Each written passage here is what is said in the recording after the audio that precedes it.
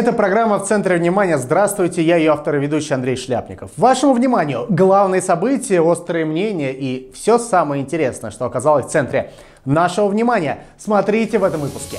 Историческое возвращение. А куда вернулись первые жители Карабаха? Господин Никто. Как бы проголосовало население Армении, если бы выборы состоялись в эти выходные? Союз трех. Как Россия, Турция и Азербайджан наращивают сотрудничество.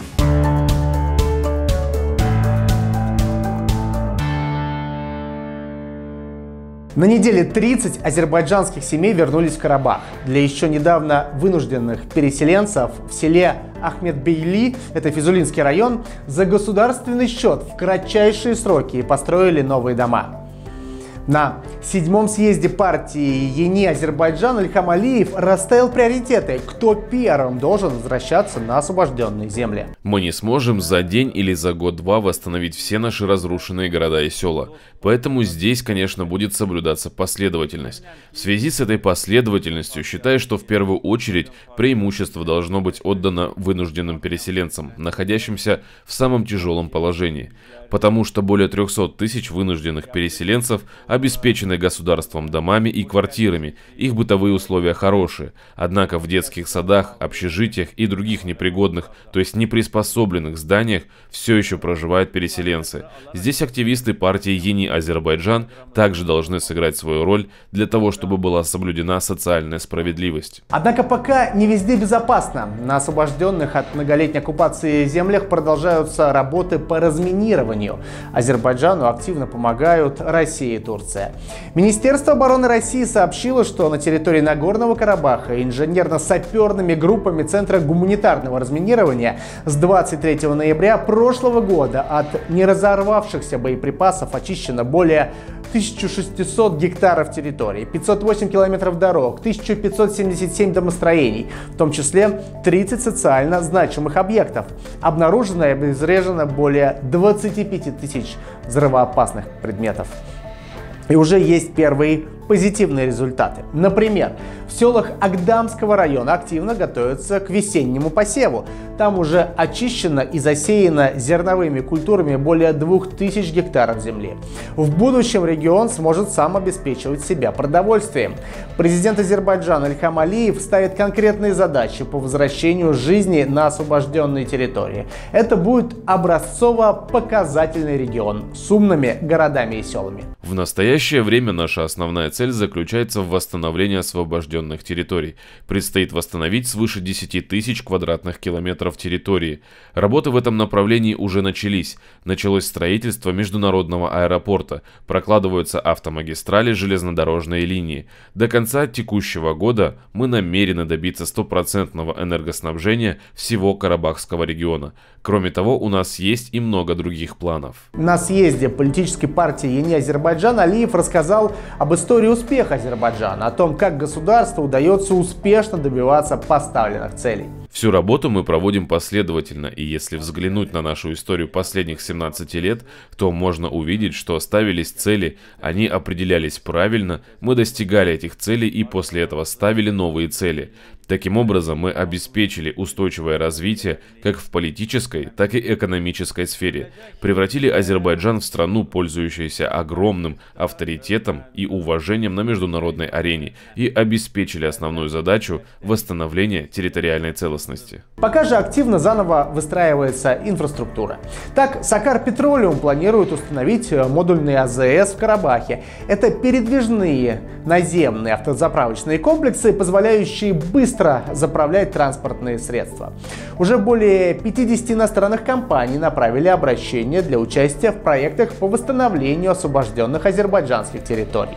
Работа ведется и на политическом уровне. Российские миротворцы следят за соблюдением мирных договоренностей между Россией, Арменией и Азербайджаном.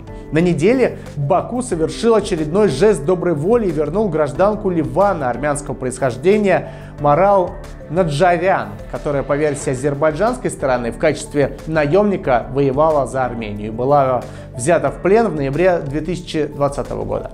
Сама Наджарян участие в боевых действиях отрицает. Таким образом, Азербайджан освободил всех женщин, задержанных в ходе войны, заявили в МИДе Азербайджанской республики. Большую роль в освобождении наджарян сыграла спикер Совета Федерации России Валентина Матвиенко, которая лично связалась со спикером азербайджанского парламента Сахибой Гафаровой и попросила содействовать в освобождении наджарян.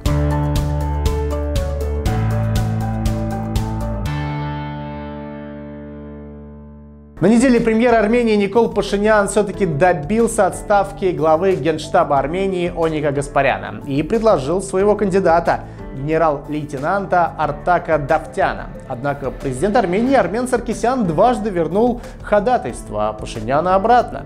СМИ уже назвали такую схему армянским пинг-понгом. Ведь по законодательству, если президент дважды отвергает предложение премьера, то оно автоматически вступает в силу. Так было со скандальной отставкой уже экс-главы Генштаба, так получилось и с назначением. Артак Давтян уже занимал должность главы Генштаба с 2018 по 2020 годы, но был уволен за организацию свадьбы сына во время локдауна. Оппозиция негодует и в очередной раз грозится военным переворотом. Однако создается ощущение, что армии этот переворот сейчас совсем не нужен. На неделе премьер-министр Никол Пашинян провел встречу с командным составом вооруженных сил Армении. Прошу всех присутствующих продолжить службу в качестве генералов и офицеров вооруженных сил, в качестве столпов структуры, гарантирующих безопасность и территориальную целостность Армении. Это важный сигнал, что военные готовы разговаривать. Ко всему прочему, немаловажный фактор, э, все более преобладающие пацифистские настроения в армянском обществе. Карабах превратился для армян, для многих армян, вообще в непонятную тему. Она вроде, с одной стороны, важна, потому что постоянно апеллирует к национальному чувству. С другой стороны, вообще непонятно, э, что с ней делать, и никто не показал, что с ней делать. На другой чаше весов лежит постепенное понимание того вопроса, что открытие границы с Турцией, с Азербайджаном приведет к оживлению торговли и к тому, что 2 миллиона человек, которые живут в современной Армении, начнут нормально жить. Не просто нормально, а может даже богато жить. Москва тоже постоянно подает сигналы, что сейчас не время раскачивать лодку. Мы рассматриваем это как внутреннее дело Армении и не вмешиваемся в процессы, которые там происходят, не занимаем ничью сторону. Хотим, чтобы ситуация побыстрее нормализовалась, это пойдет на пользу всем, в том числе урегулированию вокруг Нагорного Карабаха. Для Москвы и Баку Пашинян сейчас удовлетворительная фигура. Он настроен выполнять достигнутые мирные договоренности.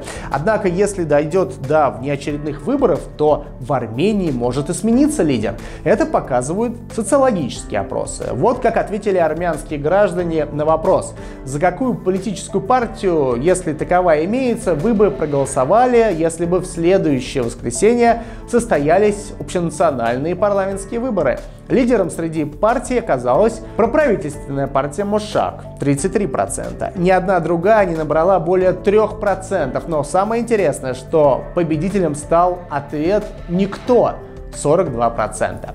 Это довольно ясно говорит о том, что электорат ждет появления новой фигуры на политической арене, но не в ущерб мирным договоренностям. Когда будет определен некий коалиционный кандидат на роль премьер-министра, может быть Армения успеет к этому времени прийти к полупрезидентской республике.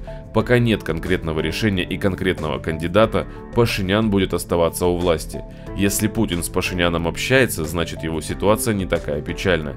Пока с ним разговаривают, он остается на плаву. А пока Пашинян у власти, ему заново приходится выстраивать отношения с международными организациями. Так, на неделе Армению покинула представительница детского фонда ООН ЮНИСЕФ Марин Кларк Хаттинг. В армянских СМИ и телеграм-каналах появились сообщения о том, что власти страны заподозрили Кларк Хаттинг в шпионаже в пользу Азербайджана и Великобритании. Она представляла ЮНИСЕФ в Армении с июля 2020 года. Это, конечно, серьезный имиджевый скандал для Армении. Возможно, его решили замять. Уголовное дело возбуждено не было, представительнице ЮНИСЕФ дали спокойно покинуть страну.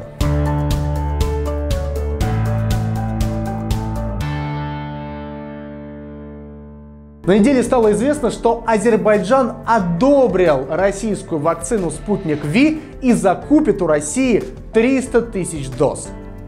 Такое распоряжение подписал премьер-министр Азербайджана Али Асадов.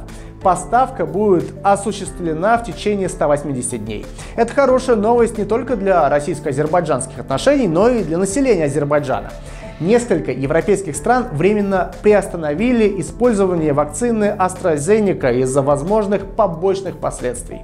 Ее Азербайджан тоже закупает, как и вакцину из Китая. За счет нескольких поставщиков Азербайджан продолжает бесперебойную вакцинацию населения, как и поставки газа в Европу. На неделе стало известно, что Азербайджан договорился о поставках голубого топлива в Венгрию. Венгрия будет получать газ по южному газовому коридору из Азербайджана и Туркменистана. Азербайджан может увеличить добычу газа. В результате этого мы сможем получать значительное количество голубого топлива.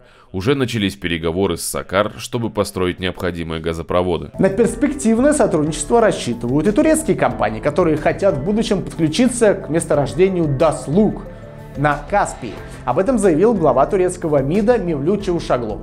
Турецкий министр добавил, что нефть и голубое топливо с данного месторождения можно будет транспортировать в Турцию по имеющимся трубопроводам. Напомним, что в январе Азербайджан и Туркменистан подписали межправительственный меморандум намерений о совместной разведке и разработке углеводородного месторождения Даслук на Каспии. Кстати, и в разработке месторождения примет участие российская компания «Лукойл». Россия, Турция Азербайджан связывают не только углеводородные проекты. Так, на неделе дочерняя компания азербайджанских железных дорог доставила из России в Турцию 780 тонн зерна и 480 тонн пшеничных отрубей. Доставка осуществлялась по железной дороге Баку-Тбилиси-Карс. Такой маршрут значительно выгоднее традиционных морских перевозок.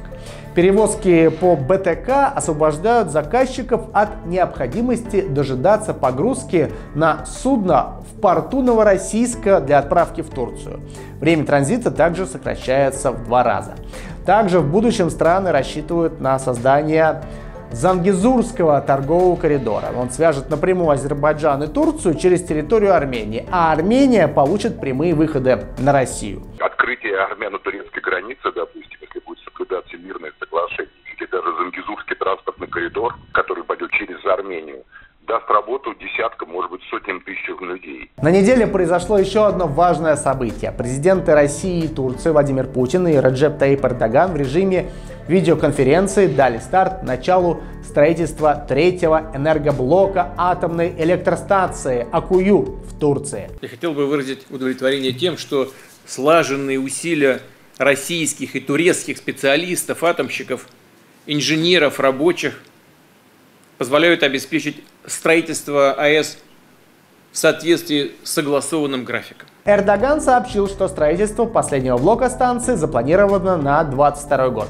Запуск всех четырех блоков покроет 10% потребностей Турции в электроэнергии и снизит зависимость страны от газа и угля. Таким образом, мы видим очень плотное сотрудничество России, Турции, Азербайджана в регионе. Партнеры готовы привлечь к сотрудничеству и другие страны, в том числе и Армению.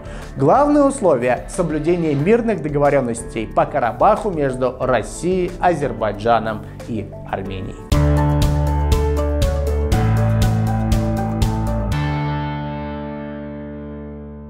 Такие события оказались в центре нашего внимания. До свидания.